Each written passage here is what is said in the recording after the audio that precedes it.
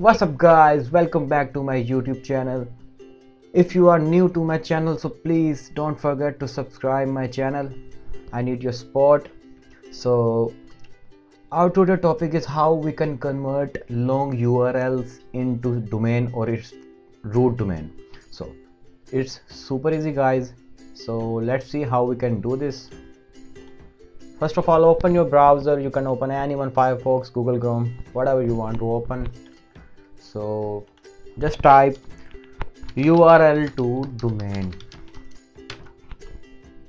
Then you have to go on this website. There are many websites on which you can go but personally i like this one. It's super easy. So website name is websiteseochecker.com it's not my website. I'm just using it. So let's open it now you have to paste all the urls that you want to convert into root domains and or you only want to see its root domains. So for example i'm just typing example1.com example 2.com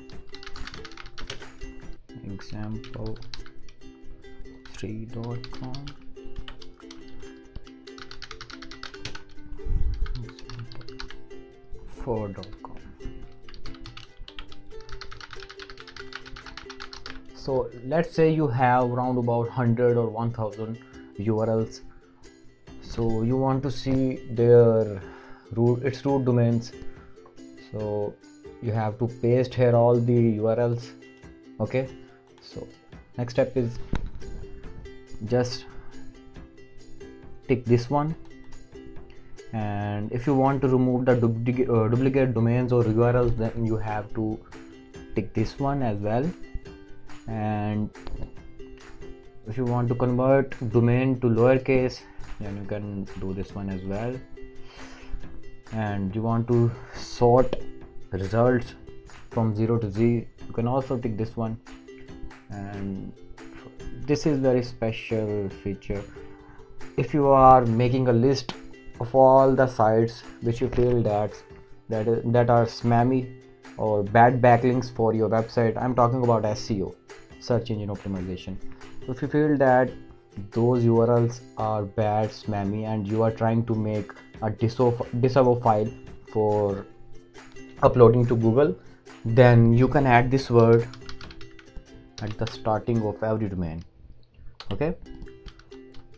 So that's i'm not a robot definitely. Oh captcha i hate this captcha okay. So you can also see the show metric Moz metric result domain authority page authority spam etc etc so filter all these urls okay here we go.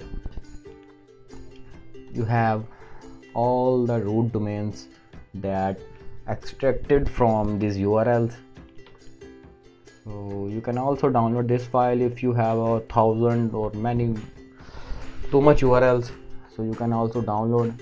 I just showed you an example. That's why these are just four domains. So you can do copy paste or whatever you want to do.